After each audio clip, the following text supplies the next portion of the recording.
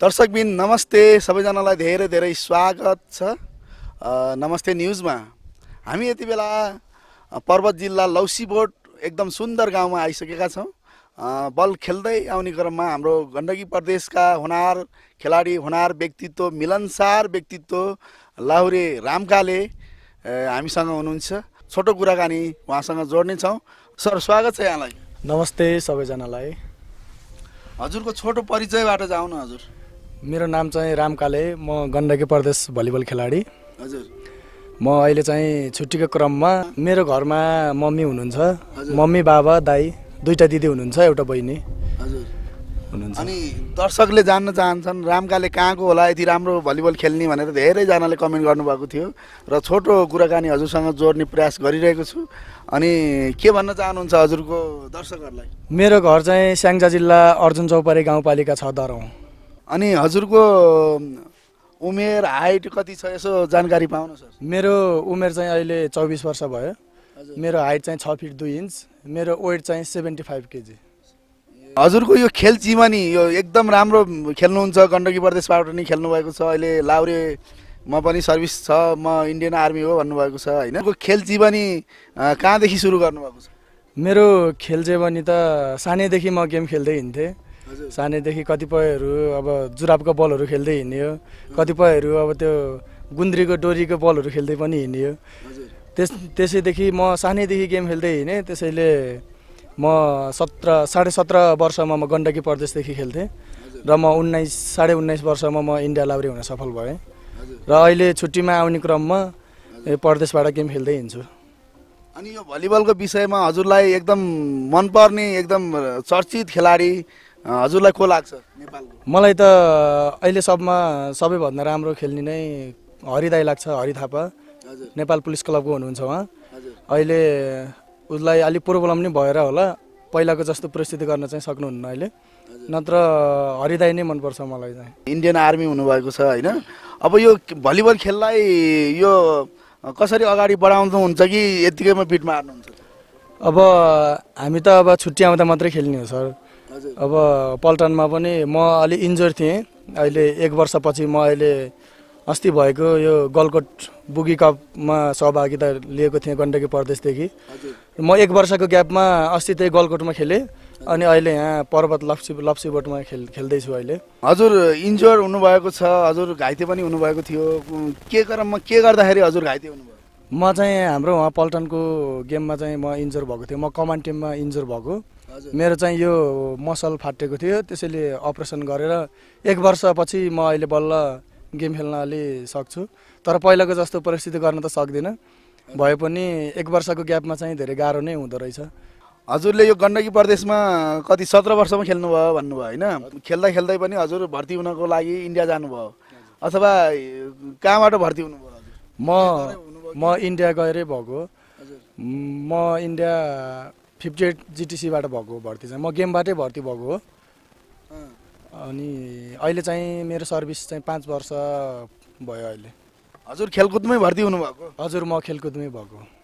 अनि कति वर्ष सर्भिस गर्नुभएको छ अहिले इन्डियामा? अहिले मेरो पाँच वर्ष सुरु हुँदैछ अहिले। रनिङ हुँदैछ पाँच वर्ष।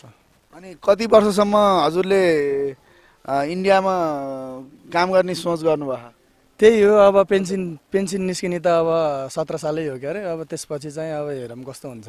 सत्र साल चाहिँ हामी जसरी नै गर्नै पर्छ। अनि पल्टनबाट वर्षमा कतिचोटि छुट्टी पाउनुहुन्छ? वर्षमा हामीले तिन महिना पाउँछ छुट्टी। वर्षमा तिन महिना? हजुर अनि तिन महिनामा हजुर कहिलेकाहीँ सधैँ आउनुहुन्छ कि उतै बस्नुहुन्छ कहिलेकाहीँ? म आउँछु सधैँ नै घरमै आइन्छ। अब उता त किन बसिन्छ र घरमै आइन्छ छुट्टीमा त। उहाँ चाहिँ वर्षमा तिन महिना उहाँको छुट्टी हुन्छ र घर आउनुहुन्छ। अनि घर आउने बेलामा हजुरले यस्तो गेम भयो भने हजुर खेल्न हिँड्नुहुन्छ? हजुर म नेपाल आउने बेलामा म परदेशबाट नै खेल्दै हिँड्छु। अनि हजुरको के छ बिहा भयो होइन? मेरो बिहे भएको छैन। अनि सुरसार के छ त? चौबिस वर्ष भइसक्नु भयो भन्नुभएको छ है? सुरसार के छ? सुरसार चाहिँ अझै दुई तिन वर्ष चाहिँ अझै नगरौँ भन्ने विचार हो। ए, अनि रेडी अवस्थामा हुनुहुन्छ कि खोज्न पर्ने हो? हामीले खोजिदिनु पर्ने हो कि? नै नै त्यस्तो त होइन। रेडी नै छ भनौँ अब जस दुई तिन साल चाहिँ वेट गर्छु।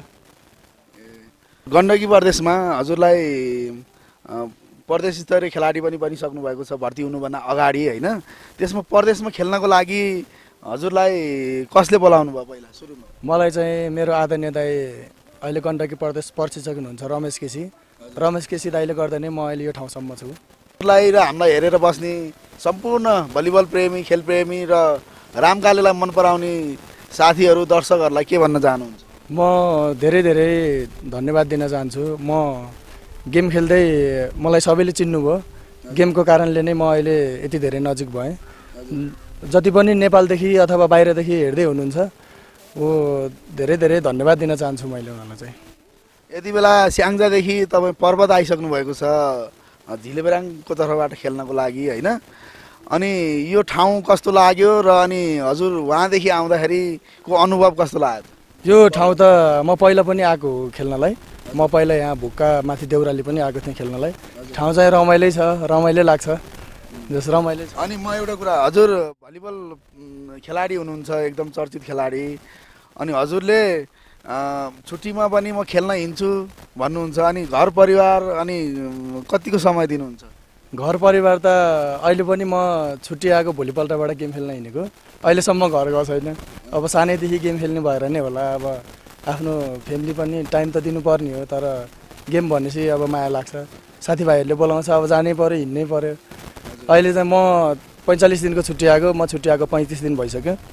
म घरमा दुई दिनभन्दा बसेकै छैन। अनि हजुरलाई कस्तो लाग्छ? फ्यामिलीलाई यसो समय दिन नि सकिएन। भन्ने लाग्छ कि होइन मेरो जीवनै म एकदम भलिबल खेलाडी हो।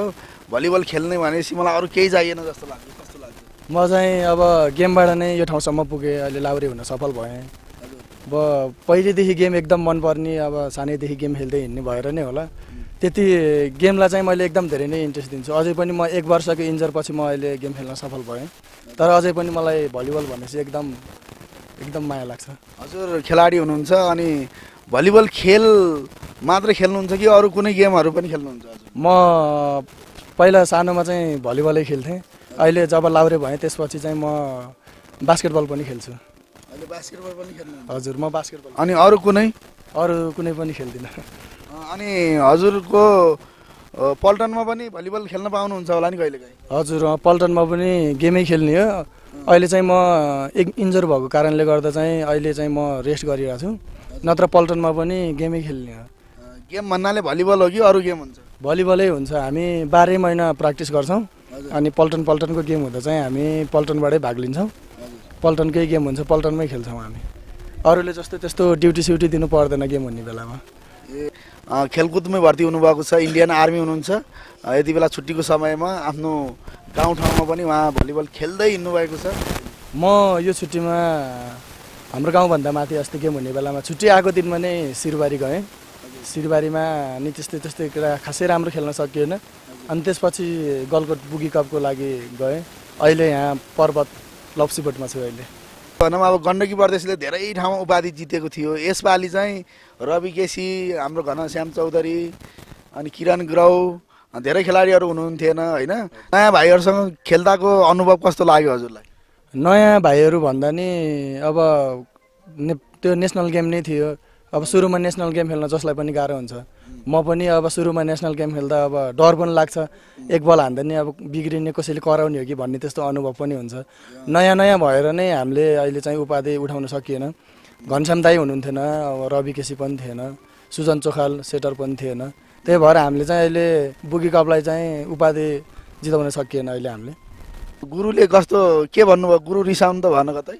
नै नै गुरु त्यसरी रिसाउनु भएन। हामीले गेम पनि अब सकेसम्म खेलेकै हो।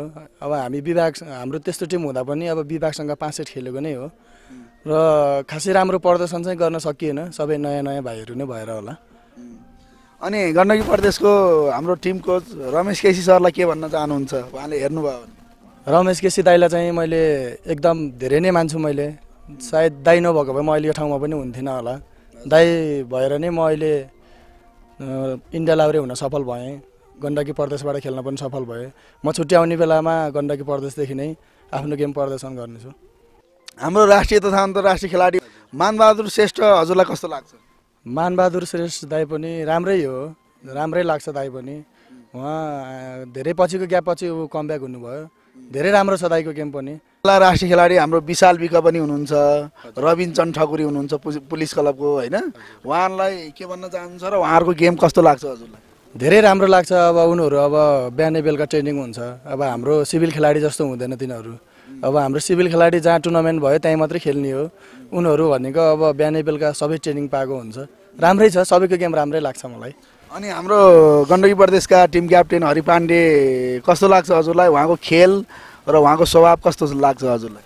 हरिदाईको गेम पनि राम्रै हो। पहिला आठ नौ वर्ष भइसक्यो अहिले गण्डकी प्रदेश टिम क्याप्टेन धानेर हिँडेको। दाईको गेम पनि धेरै राम्रो हो। अब दाईले पनि सोच्नु भयो होला नेपालमा गेम खेलेर अब खासै उपलब्धि लागेन जस्तो लाग्यो होला दाईलाई। त्यही भएर दाईले नै अब बिस्तारै गेम छोड्दै हुनुहुन्छ। नेपालमा अब जति राम्रो खेलाडी भए पनि अब बाहिरै जानुपर्छ जसरी नै कमाउनु नै पर्छ। अनि घनश्याम चौधरी पनि अब इन्जोर हुनुभयो धेरैचोटि होइन? अनि उहाँको खेल कस्तो लाग्छ र उहाँ कस्तो हुनुहुन्छ त? घनश्याम दाईको गेम एकदम राम्रो हो। सिभिल खेलाडीमा मलाई सबैभन्दा ओपन स्पाइङमा सबैभन्दा राम्रो लाग्ने भनेको घनश्याम दाई नै हो। अब दाई पनि अब बिस्तारै बिस्तारै अब बुढो हुनुभयो अहिले इन्जोर पनि हुनुहुन्छ। दाईले पनि अब बिस्तारै छोड्नुहुन्छ होला जस्तो लाग्छ मलाई। अनि हजुरलाई हिमाल सुनारी कस्तो लाग्छ सर? हिमाल सुनारी पनि राम्रै लाग्छ उसको गेम पनि धेरै राम्रो छ। ऊ पनि एकदम मिलानसार छ मान्छे। राम्रो छ उसको पनि गेम। रवि केसी हुनुहुन्छ नि अहिलेको होनार खेलाडी अहिले विदेश देश विदेश धेरै जानुभएको छ होइन। सिभिल खेलाडी हो उहाँ पनि। उहाँको कस्तो लाग्छ हजुरलाई गेम? रवि रवि केसीको गेम पनि धेरै राम्रो छ। ऊ अहिले नेपाल टिमबाट पर्ने मान्छे हो तर अब सबै राजनीति नै हुन्छ गेममा त। उसले गर्दा नै अब नेपाल टिमबाट नस पर्न नसके जस्तो लाग्छ मलाई। म त अब नेपाल पनि थिइनँ। उसको गेम चाहिँ धेरै राम्रो हो। गेम राम्रो छ उसको। अहिले हङकङतिर पनि दुई ठाउँमा उपाधि जिताउन सफल भयो उसले। र दुबईमा पनि हाम्रो सुजन चोखाल भयो रवि भयो राजन दाई भयो अनि जीवन भाइ भयो अनि विष्णु भाइ गएर उनीहरूले चाहिँ दुबईमा उपाधि जितेको छ अहिले। हाम्रो सन्जु विक्रम शाह अनि रेशम सन्ध्या लाउरे पनि हुनुहुन्छ नि। उहाँहरूको गेम कस्तो लाग्छ? उहाँहरू पनि एकदम चर्चित हो होइन? हजुरलाई कस्तो लाग्छ? सन्जु दाईको गेम पनि धेरै राम्रो हो। दाईको गेम पनि पहिला लगभग छोड्नु भयो दाईले पनि गेम खेल्न। पछि अहिले अहिले चाहिँ एकदम राम्रो बनाउनु भएको छ दाईले नि गेम। रेशम छन्तल हामी त अब सँगै सेन्टरमा सँगै खेल्दै बसेको मान्छे हो। उसले चाहिँ अब लाउरे अहिले छोडेर नेपालतिर अहिले गेम लाइनमा नै हिँड्नु भएको छ। भलिबल खेलमा सबै विदेशिनु पर्यो सिभिल खेलाडी भनेर गुनासो गर्नुभएको छ। अनि यो नेपाल सरकारले कस्तो बनाइदिए जस्तो लाग्छ भलिबल खेललाई? नेपाल सरकारले चाहिँ अब अब कसरी गर्नु पर्थ्यो भन्दा अब हरेक अब सिभिल खेलाडीहरूलाई ट्रेनिङ दिने बिहान बेलुका ट्रेनिङ दिएर विभागमा जस्तै गराउने जस्तो लाग्छ मलाई। भलिबल प्रेमी खेलप्रेमी दर्शकहरूलाई हजुरले के हजुरको तर्फबाट के भन्न चाहनुहुन्छ? सर्वप्रथम त मेरो आदरणीय दाई भीम छेत्री दाईलाई धेरै धेरै धन्यवाद दिन चाहन्छु। मलाई यो चिनाउने मौका दिनुभयो तपाईँले। र जति पनि बाहिरबाट बसेर हेर्नुभएको छ नेपालदेखि अथवा बाहिरदेखि बसेर हेर्नुभएको छ नमस्ते न्युजलाई धेरै धेरै माथि पुर्याइदिनु होला। म विनम्र अनुरोध गर्दै बिदा हुन चाहन्छु नमस्ते। यति बेला हुनुहुन्थ्यो हामीसँग एकदम होनार व्यक्तित्व राम काले। राम काले नै भन्नुहुन्छ अब काले भन्यो भनेर फेरि न्युजमा नि कस्तो काले भनेको होला भनेर माइन्ड नगर्नु होला। उहाँले उहाँले चाहिँ सिर्फ आफैले माइन्ड गर्नुभएको छैन भने काले भन्यो भनेर फेरि हजुरहरूले माइन्ड नगरिदिनु होला। यहाँलाई धेरै धेरै धन्यवाद छ। ओके थ्याङ्क अनि समय र सम्वादको लागि यहाँलाई धेरै धेरै धन्यवाद। थ्याङ्क यू सो मच है त you okay thank you thank you हस् सम्पूर्णमा धेरै धेरै धन्यवाद। थ्याङ्क यू सो मच हामीसँग हुनुहुन्थ्यो यति बेला गण्डकी प्रदेशका होनार खेलाडी यानि कि इन्डियन आर्मी रामकाले एकदम मिलनसार व्यक्तित्व पनि हुनुहुन्छ। सबैसँग मिल्ने एकदमै होनार मिलनसार व्यक्तित्व हामीसँग हुनुहुन्थ्यो। यति बेला छुटिसकेका छौँ। हजुरहरूलाई भिडियो हेरेर कस्तो लाग्छ? कृपया सल्लाह सुझाव। यो पहिलो पहिलो अन्तर्वार्ता भएको हुनाले हजुरहरूलाई कस्तो लाग्छ? हजुरहरूले अवश्य पनि कमेन्ट गर्नुहोला। हजुरहरूलाई कस्तो लाग्छ? थ्याङ्क यू सो मच जय खेलकुद जय भलिबल।